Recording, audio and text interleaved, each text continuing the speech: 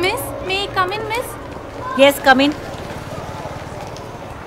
இன்னைக்கு என்னோட birthday miss happy birthday Manish எல்லாருக்கும் நான் கொடுத்துக்கிறேன். நீ கிளாஸுக்கு போ. ம்.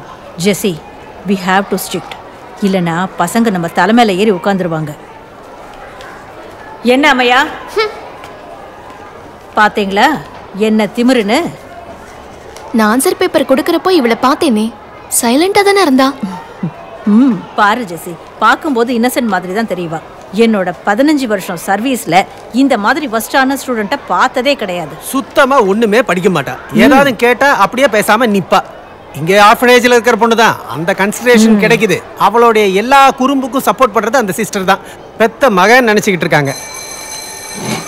இந்த சாக்லேட்